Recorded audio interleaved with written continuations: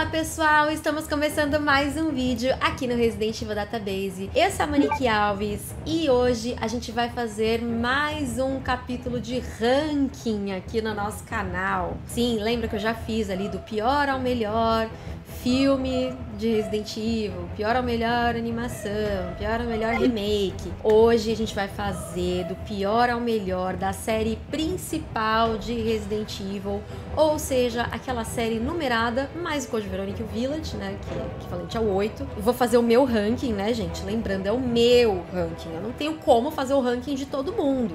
Se vocês quiserem, a gente pode brincar aí, fazer umas enquetes, alguma coisa assim, pra gente determinar qual seria o ranking do público público. Mas eu tô falando por mim, tá, gente? Então, fiquem calmos, torcedores, calma, tá tudo bem, respira. Esse ranking não vai influenciar em nada na sua vida, tá? É só pra gente se conversar mesmo aqui e tudo mais. É uma brincadeira e tal. E eu acho que é bem gostoso, né? E é uma coisa que vocês me pedem muito também, né? Ai, como que seria o seu ranking dos jogos e tudo mais? Então a gente vai fazer. E aí eu coloquei aqui, né? Os jogos da série principal serão 10, então teremos um top 10 aqui no canal. E antes da gente começar, eu vou pedir para você já se inscrever, deixar o like nesse vídeo e compartilhar com seus amigos, que é pra gente seguir crescendo aqui no Menino YouTube. Lembrando, gente, que todo engajamento de vocês me ajuda muito, ajuda muito o canal. Bom, gente, vamos lá, não vamos enrolar muito não. Eu coloquei aqui como seria mais ou menos o meu ranking Uh, e eu vou começar do último lugar pro primeiro lugar, como a gente tem feito aqui nesses rankings, né? E para mim, o menos melhor ou o pior jogo da série numerada e ficaria em décimo lugar seria o Resident Evil 6, por todas as razões óbvias de que ele acabou sendo um jogo que ele tentou fazer muita coisa e acabou que ele não fez nada direito, né, digamos assim. Eu, eu acho que o Resident Evil 6 ele extrapolou demais, assim, os caras foram extremamente megalomaníacos e saiu demais do, da coisa do famoso menos é mais, sabe? Às vezes você precisa de uma coisa muito mais simples do que você pegar e fazer um negócio megalomaníaco para que aquilo seja bom, sabe? A gente tem ali quatro campanhas, cada uma com um tipo diferente de gameplay e isso também deixa o jogo sem identidade. E aí você pode pilotar carro, moto, caça no jogo, helicóptero, né, com a Ada também. Então, ele tem tantas facetas, mas nenhuma delas é desenvolvida direito, sabe? Eu acho que o, por exemplo, uma coisa que o 6 tem de muito legal que eu gosto é a ligação entre as histórias, né, entre as campanhas. Isso eles fizeram de uma forma primorosa, sabe? De conectar é, a parte 1 da campanha do Chris e aí a, é a parte 3 da campanha do Leon, e aí você vai misturando ali, tô dando um exemplo só, sabe? E aí depois você vai montando esse quebra-cabeça da história. Em compensação, os files, para você poder ler, mais sobre o background daquela história, você tem que atirar naqueles emblemas de serpente imbecis. E aí a história ficou extremamente superficial, mas ela não é. Ela tem bastante coisa ali. Outro ponto negativo são os vilões que têm umas motivações muito merda, sabe? Como o próprio Derek Simmons só queria ter uma Eida dele, uma Eida para chamar de sua. E a Carla Radames, que é o, esse clone da Ada que o Derek Simmons criou, e aí ela ficou puta porque ela é um clone da Ada, e aí ela quer se vingar tocando terror no mundo. Quando poderia ter sido muito melhor. Cara, o Derek Simmons, ele tinha um potencial absurdo. Ele é o assistente presidencial, ele é o cara do lado do presidente. Imagina o potencial que esse cara teria, mas no fim, ele é só um gado da Ada. E para mim, a melhor campanha do Resident Evil 6 é a do Chris, por causa da história mesmo, né? Porque envolve ali a questão do Pierce e tudo, ele sendo um aprendiz, o quanto ele amadurece ao longo da história, porque a gente vê que o Pierce começa como um cara super mimadinho, chato, e no final a gente tem a perda dele, então a gente lamenta muito. A gente também vê o Chris como um cara extremamente bacana, e aí depois a gente vê que ele vai decaindo e daqui a pouco ele vai subindo de novo. E isso também determina, né, o futuro do personagem para a franquia. Então, eu acho que é por isso que eu gosto tanto da campanha do Chris, né? As outras acabam não sendo tão legais assim. E o Jake, o filho do Wesker, cadê o Jake? Um abraço pro Jake. A Capcom não quer mais saber dele, gente. É isso. Olha, em nono lugar, gente, com muita dor no coração, eu coloquei o Village, que é equivalente ao Resident Evil 8. E essa posição do Village, é, ela foi muito discutida, porque eu fiz esse ranking em live com a galera lá no site roxo. Inclusive, não perde as lives lá, porque essas coisas acontecem lá, tá? Isso o YouTube não mostra, é só lá no site roxo. Então, pega o link aqui na descrição e já segue lá, tá? Tem um link aqui também se você quiser. Por que eu coloquei o Village aqui? Quer dizer que eu odeio Village? Não. Quer dizer que eu não gosto do Village? Também não. O Village eu acho que ele é um jogo de oportunidades perdidas, como eu falei várias vezes aqui no canal, em várias ocasiões. Ele poderia ter desenvolvido absurdamente a volta da Umbrella, não fez. Poderia ter desenvolvido a ligação do Chris com a BSAA, porque que eles estão tão tretados, não fez. Poderia ter usado a, a, até a história ali da família Winters de uma forma em que eles acabassem sendo uma vítima da situação, mas que mesmo assim não parecesse um spin-off, porque o Village ele tem cara de spin-off, não parece um jogo da série numerada. Então também não fez, não, não tem cara de jogo da série principal. E eu acho que isso é uma falha gigante do Village para mim. Eu sei que talvez o jogo tenha sido afetado ali pela pandemia, né? Tenha sido impactado ali o seu desenvolvimento e tudo. Mas mesmo assim, não é desculpa. Eles poderiam ter adiado o jogo para um pouco mais para frente e a gente não ia nem saber disso, em vez de sair em 2021, saísse em 2022. A gente não ia nem saber disso, sabe? E não, eles preferiram lançar do jeito que tá, sabe? Então, eu acho que falha demais em explicar as coisas. Gente, antigamente a gente sabia até por que, que o zumbi vomita ácido. E hoje não. Ah, mas por que, que as meninas viram mosca? Ah, é uma explicação merda e só aceita ali, tá? É isso. Cara, eu sei, muita gente tá cagando pra história. Eu sou Maria Lorinha, né? Um beijo pro Cross. eu sei que é para ser pejorativo, mas a gente faz na brincadeira aqui. Gosto, gente, desde o primeiro jogo. Eu gosto do Lord Resident Evil, tá? Se você acha isso ruim, problema seu. Eu gosto, tá? Poxa, foi uma coisa que sempre me atraiu em Resident Evil, que tudo tinha uma explicação. Porque é um terror biológico, sabe? Então tudo tinha sua explicação, o porquê daquilo estar acontecendo. Tinha explicação científica daquilo estar acontecendo. E a gente agora tem umas explicação meio merda. Por isso que eu fiquei tão frustrada com o Village. Além de que eu não me sinto muito bem jogando ele, né? O 7 também é em primeira pessoa, mas o 7 eu não sofro para jogar. Eu não sei se é porque o Village é muito claro, e aí, nossa, meu olho dói jogando. Vamos ver agora quando sair a terceira pessoa como vai ser. Mas me incomoda, treme muito o jogo, mesmo você desativando a oscilação de câmera. Ainda parece que treme muito. Eu acho que é por ele ser mais ação do que o 7 também, né? Enfim, essa junção de coisas me deixa meio zureta das ideias. Sofri bastante todas as vezes jogando Village, tanto vocês me vêm jogando muito o Village aqui no canal, porque é, não me faz bem fisicamente, né? E o que eu gosto do Village é o começo, até o final ali do castelo da Dimitrescu e a parte de exploração da vila. Da Beneviento só funciona a primeira vez. Do Morrow é legalzinho. E do Heisenberg Doença! Quer passar doença essa porra? Fazer que nem o Casimiro. Já viram esse meme? Recomendo. Procurem aí o meme do Casimiro. É, tipo... é doente! Pode passar doença, porra! Em oitavo lugar, eu coloquei o Resident Evil 5 por causa do gameplay dele, porque é guerra. Guerra! É tipo assim, é Chris e Sheva contra o mundo, sabe? É basicamente isso, é guerra. Acabou o terror. Acabou o terror, não tem mais terror sabe? É guerra. O máximo de terror ali são aqueles Reaper, que são aquelas baratonas que dão hit kill. Aquilo para mim continua sendo um terror. E ele só tá em cima do Village por causa da Family Reunion que a gente tem ali. Sabe? Que é Chris, Jill, Wesker. Well, isn't this one big family reunion? Gosto da Excela, gosto da Sheva, gosto do Josh, gosto dos personagens, né? Então, por isso que tá acima do Village.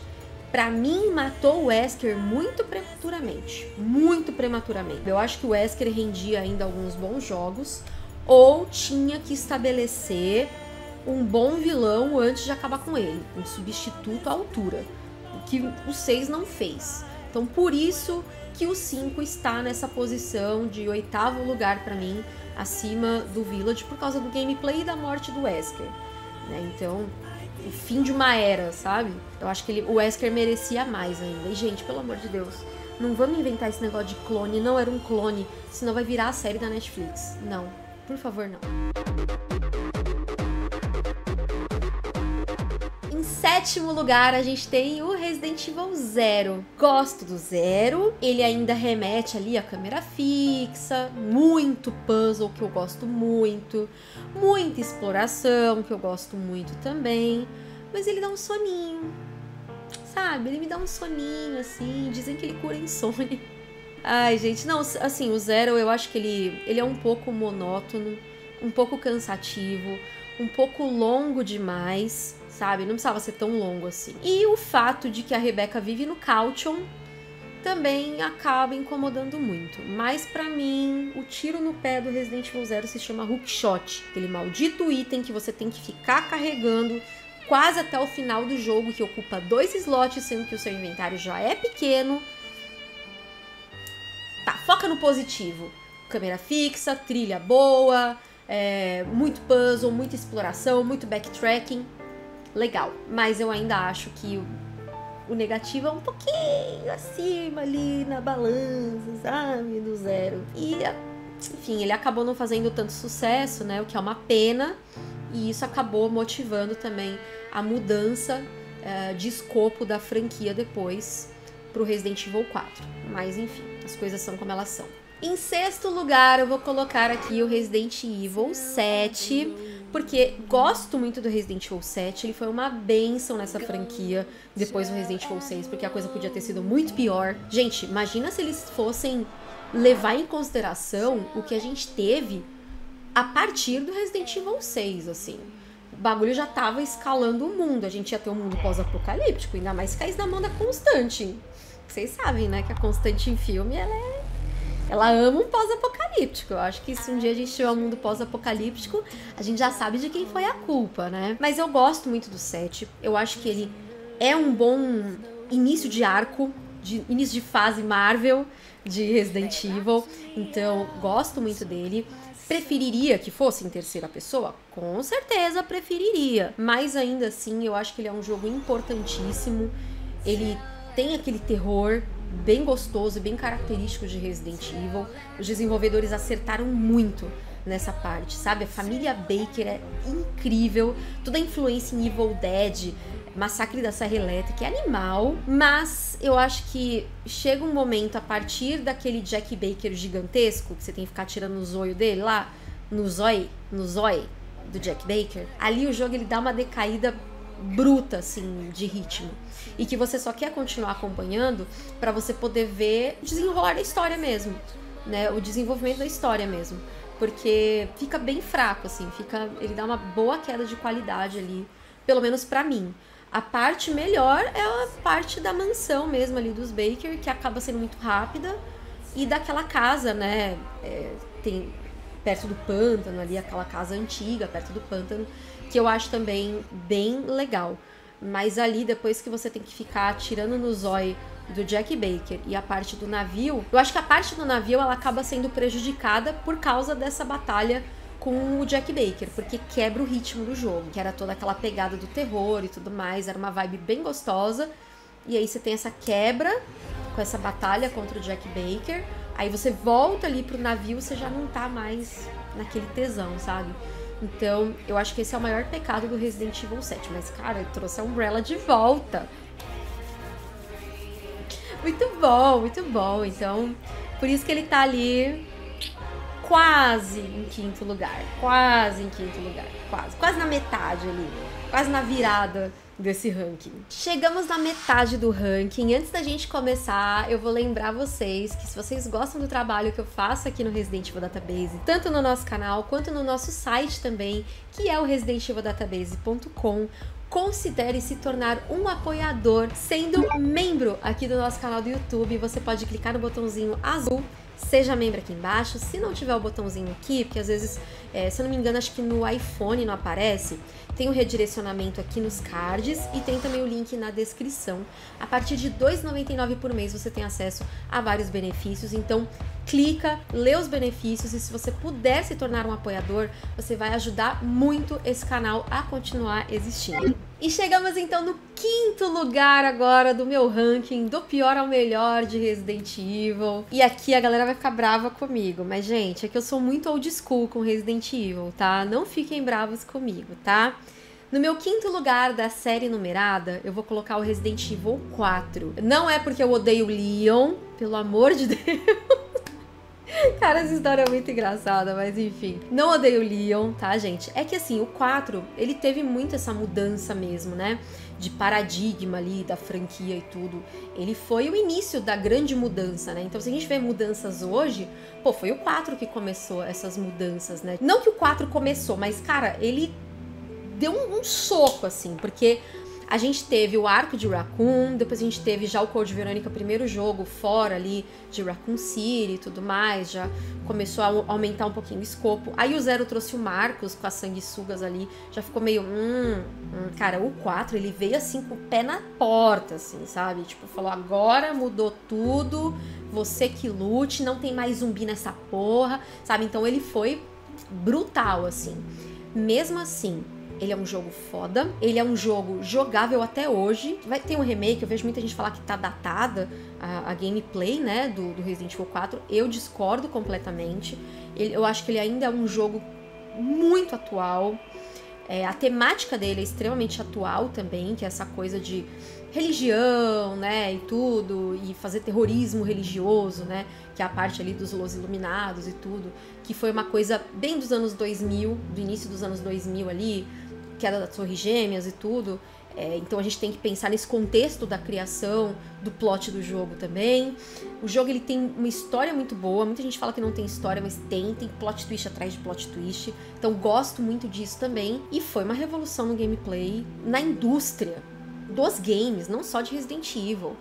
Quantos jogos não se inspiraram na câmera do Resident Evil 4, sabe?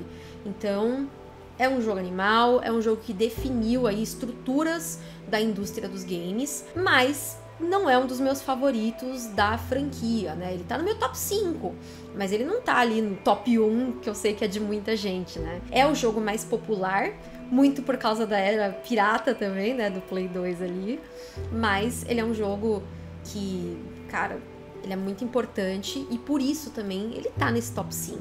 Não é dos meus favoritos, por isso tá no top 5. Ele tá ali em quinto lugar no top 5 mas ele é tão importante que por isso também que ele tá no top 5.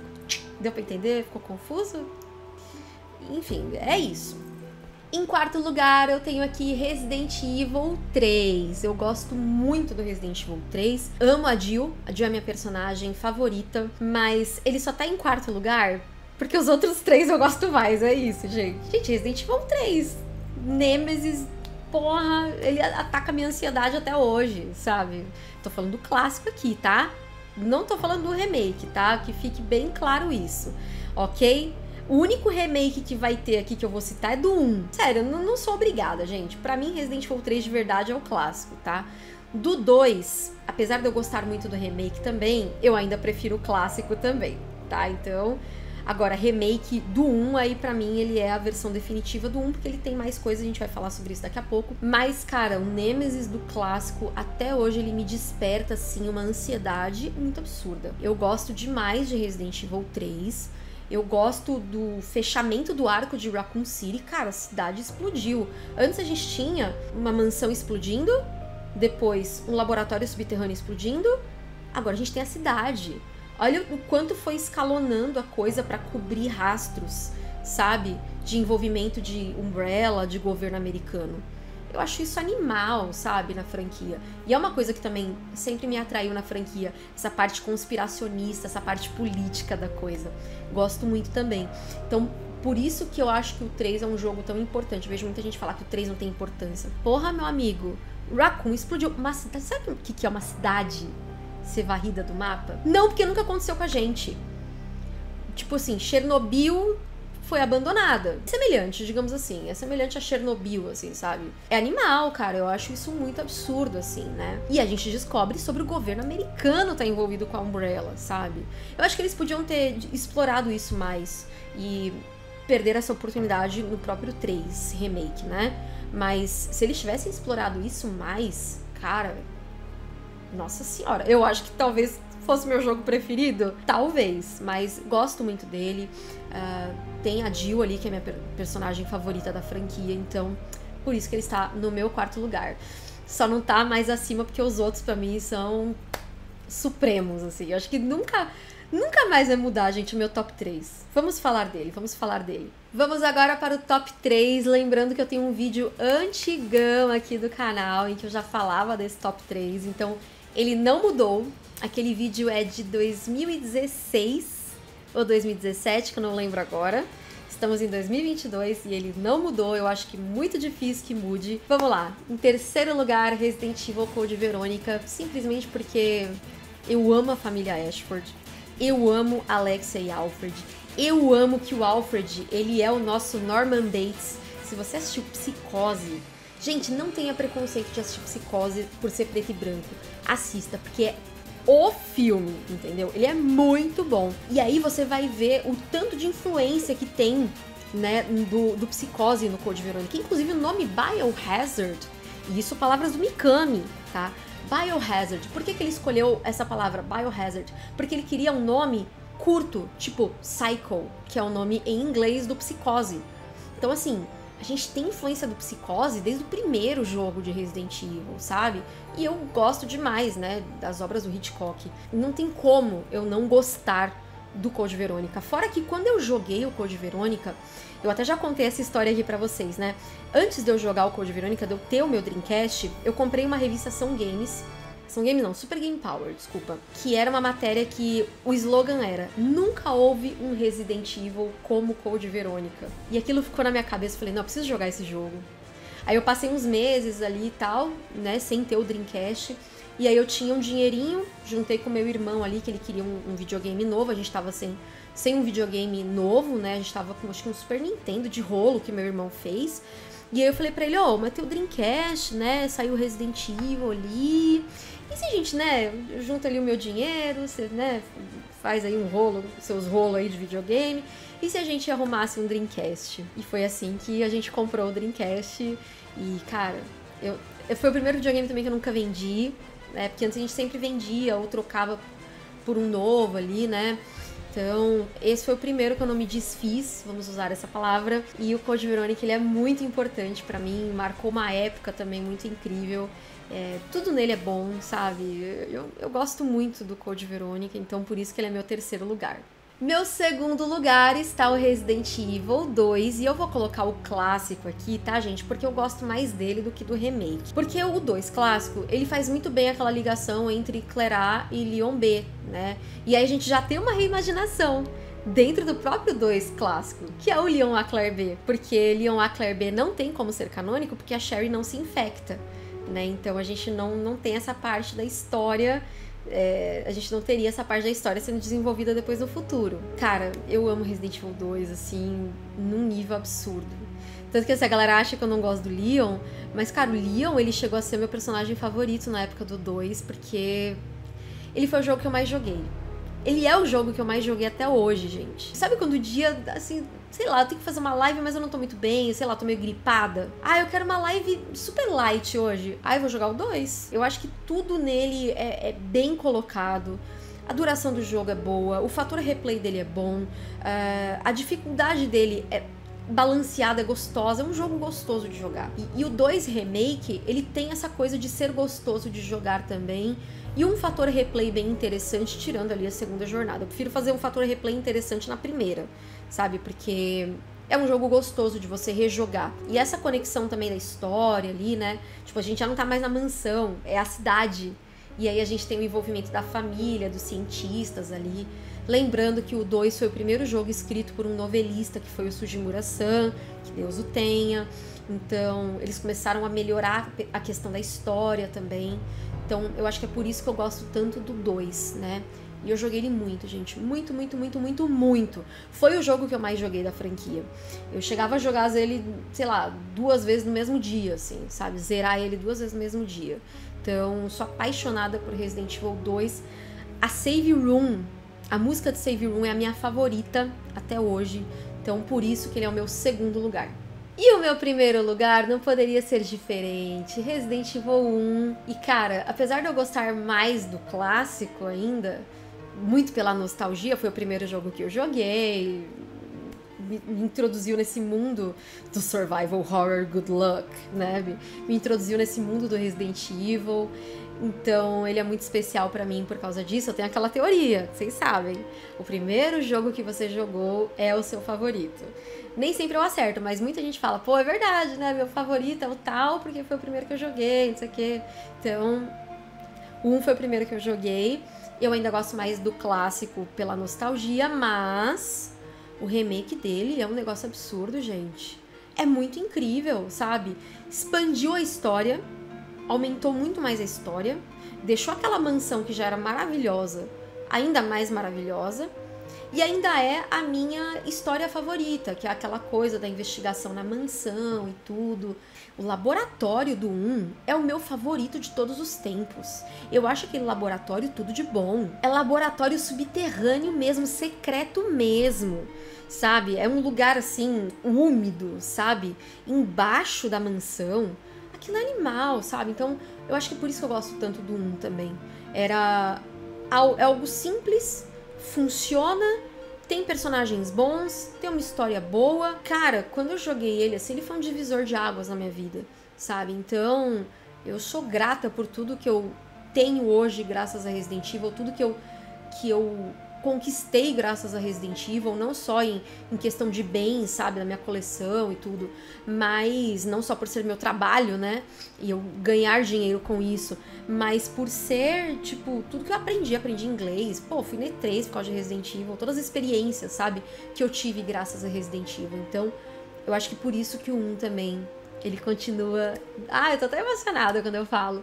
Mas é por isso que eu acho que ele, ele sempre vai ser o meu top 1, gente, porque eu amo esse jogo. Nossa, do fundo do meu coração. Bom, comenta aí embaixo o que, vocês acharam desse top 10 que eu fiz aqui, desse ranking do pior ao melhor. Quero ver o ranking de vocês também, porque como eu disse, eu falei por mim, né, gente? Agora eu quero ver o de vocês. Quero ver o de vocês. De repente a gente faz uma enquete aí, depois a gente comenta o resultado num vídeo. O que, que, vocês acham? Também deixa aqui nos comentários que eu quero saber se vocês têm interesse que a gente de repente faça essa enquete aí, que eu acho que vai ser bem legal. A gente pode fazer por fases Marvel, de repente, pra. Não sei se dá pra gente colocar todos os jogos, mas a gente pode ir fazendo eliminatórias aí, se vocês quiserem.